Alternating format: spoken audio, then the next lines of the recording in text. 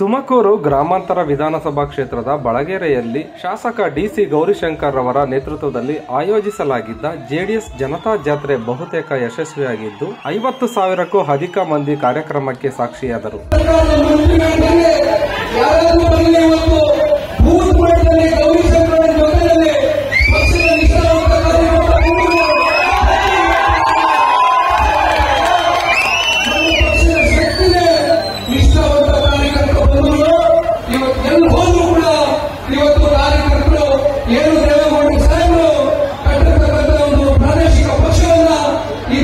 ದಿಕ್ಸೂಚಿ ಆಗ್ತದೆ. ಇಡೀ ತುಮಕೂರು ಜಿಲ್ಲೆಯಲ್ಲಿ ಹನ್ನೊಂದಕ್ಕೆ ಹನ್ನೊಂದು ಕ್ಷೇತ್ರ.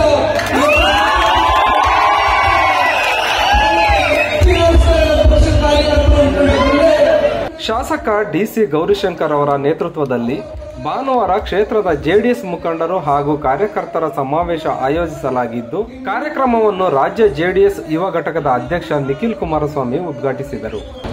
ಕಾಂಗ್ರೆಸ್ ಪಕ್ಷದ ಹಿರಿಯ ನಾಯಕರು ನಾನು ಅವರ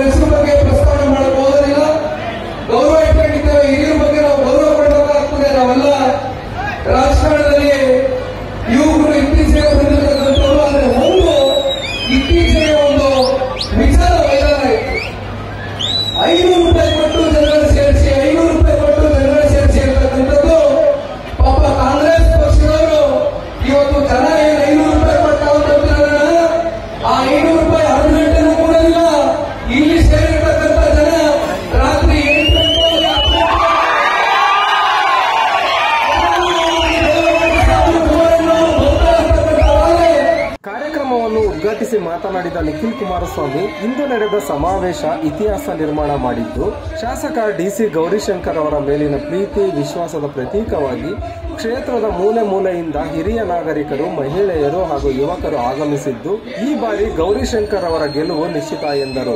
ಮಾಜಿ ಶಾಸಕ ಬಿ. ಸುರೇಶ್ ಗೌಡ ಅವರ ವಿರುದ್ಧ ವಾಗ್ದಾಳಿ ನಡೆಸಿದ ಅವರು, ಕಳೆದ ಲೋಕಸಭಾ ಚುನಾವಣೆಯ ವೇಳೆ ದೇವೇಗೌಡರ ಬಗ್ಗೆ ಅವಹೇಳನಕಾರಿಯಾಗಿ ಮಾತನಾಡಿದ ಅವರಿಗೆ ತಕ್ಕ ಪಾಠ ಕಲಿಸಿ ಎಂದು ಕಾರ್ಯಕರ್ತರಿಗೆ ಕರೆ ನೀಡಿದರು. ಮಾಜಿ ಸಿಎಂ ಕುಮಾರಸ್ವಾಮಿ ಅವರು ರಾಜ್ಯದ ರೈತರ ಸಾಮಾನ್ಯ ಜನರ ಅಭ್ಯುದಯಕ್ಕಾಗಿ ಪಂಚರತ್ನ ಯೋಜನೆಯನ್ನು ರೂಪಿಸಿ ಈಗಾಗಲೇ ಎಂಬತ್ತೈದಕ್ಕೂ ಹೆಚ್ಚು ವಿಧಾನಸಭಾ ಕ್ಷೇತ್ರಗಳಲ್ಲಿ ಪ್ರವಾಸ ಮಾಡುತ್ತಾ ಪಂಚರತ್ನ ಯೋಜನೆಗಳ ಬಗ್ಗೆ ಪ್ರಚಾರ ನಡೆಸುತ್ತಿದ್ದಾರೆ. ಮುಂದಿನ ಚುನಾವಣೆಯಲ್ಲಿ ಪಕ್ಷಕ್ಕೆ ಆಶೀರ್ವಾದ ಮಾಡಿ. ರಾಜ್ಯದಲ್ಲಿ ಜೆಡಿಎಸ್ ಅಧಿಕಾರಕ್ಕೆ ಬಂದಲ್ಲಿ ಶಾಸಕ ಗೌರಿಶಂಕರ್ ಕಂದಾಯ ಮಂತ್ರಿಗಳಾಗುತ್ತಾರೆ ಎಂದು ಹೇಳಿದರು.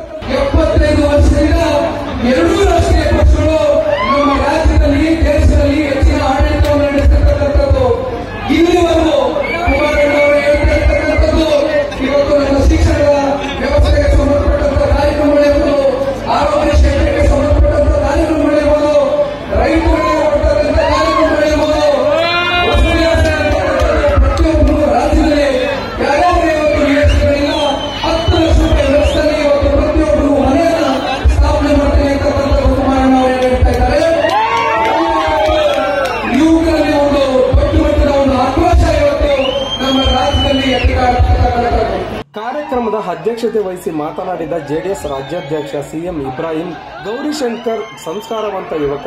ಕೋವಿಡ್ನ ಸಂದರ್ಭದಲ್ಲಿ ರಾಜ್ಯದಲ್ಲಿ ಯಾವುದೇ ಶಾಸಕ ಮಾಡಿರದಂತಹ ಜನಪಯೋಗಿ ಕೆಲಸವನ್ನು ಮಾಡಿ ಕ್ಷೇತ್ರದ ಜನ ಮನಗೆದ್ದಿದ್ದಾರೆ. ಮುಂದಿನ ಚುನಾವಣೆಯಲ್ಲಿ ಗೌರಿಶಂಕರ್ ಅವರ ಗೆಲುವು ಕ್ಷೇತ್ರದ ಜನರ ಗೆಲುವು ಎಂದು ತಿಳಿಸಿದರು.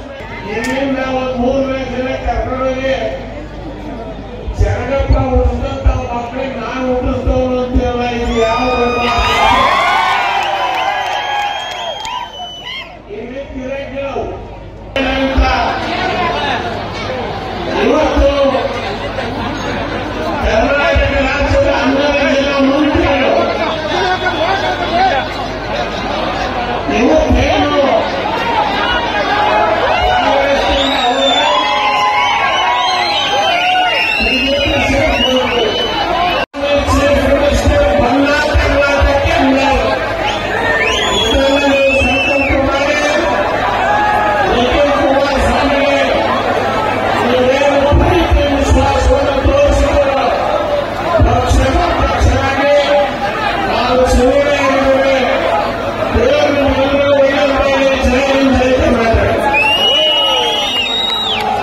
ಕಾರ್ಯಕ್ರಮ ಉದ್ದೇಶಿಸಿ ಮಾತನಾಡಿದ ಶಾಸಕ ಡಿಸಿ ಗೌರಿಶಂಕರ್, ತಾವು ಕ್ಷೇತ್ರದ ಶಾಸಕನಾಗಿ ಎಂದೂ ಸಹ ಕೆಲಸ ಮಾಡಿಲ್ಲ.